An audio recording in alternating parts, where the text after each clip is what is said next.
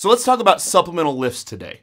Some of you have heard that word, supplemental lift, and what does it mean and how is it different from accessory movements or accessory lifts?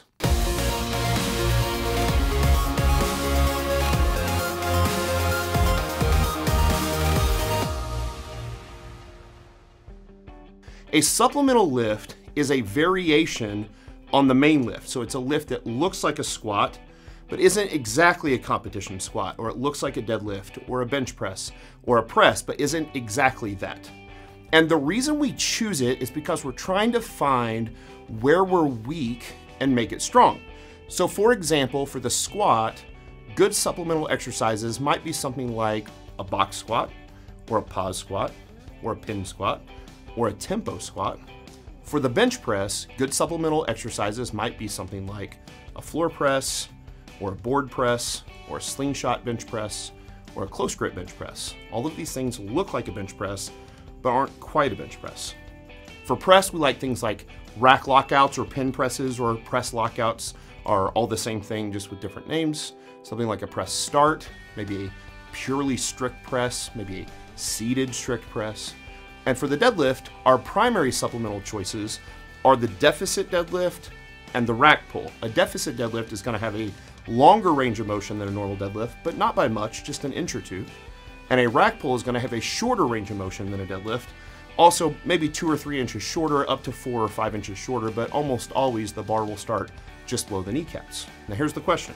Why do we need to do these at all? If all we ever do is perform the main exercises, two, three, four days a week, eventually we burn out on the main exercises. And much of that is just emotional, it's, it's mental my clients, you, me, I want some variation in my training.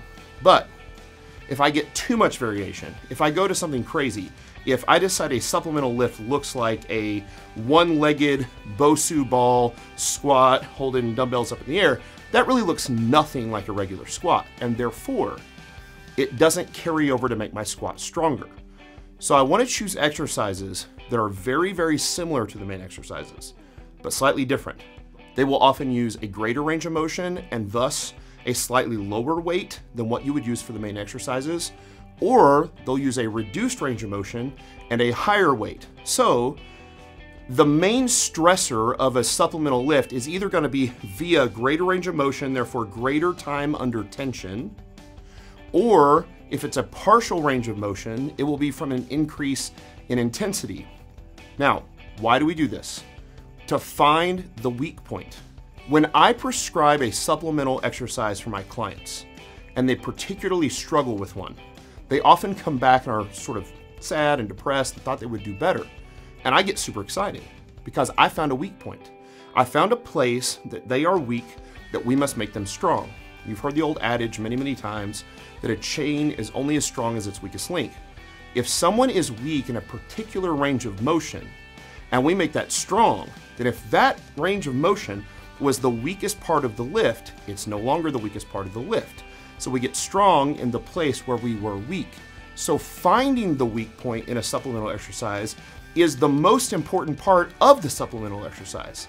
And then performing that lift in a way so that it looks like the regular lift will make it so that it carries over best to that regular competition based lift. It'll carry over better to the squat, the bench press, the press, and the deadlift.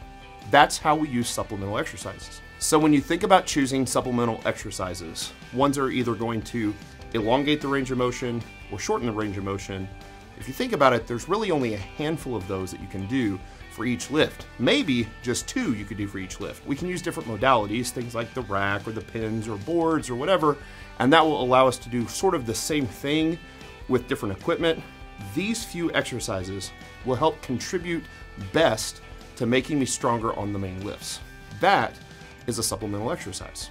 Another important aspect of supplemental lifts is that they are for intermediate and advanced lifters only.